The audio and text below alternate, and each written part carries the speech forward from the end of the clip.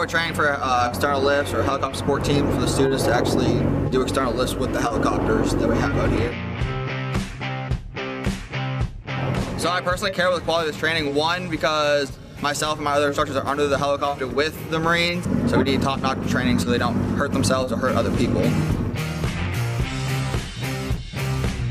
So for the battlefield, this is a great way for Marines to get resupplied. If we have 0311s, 0331s down, downrange in the fight, and they need to get resupplied with chow and ammo, this is a great way that they get resupplied. Instead of trying to push a convoy through a city and get hit with IEDs or indirect fire, so we can just rig a load, a, a net load to the bird. The bird can pick it up and bring it to the Marines down the battlefield to get resupplied with whatever they need.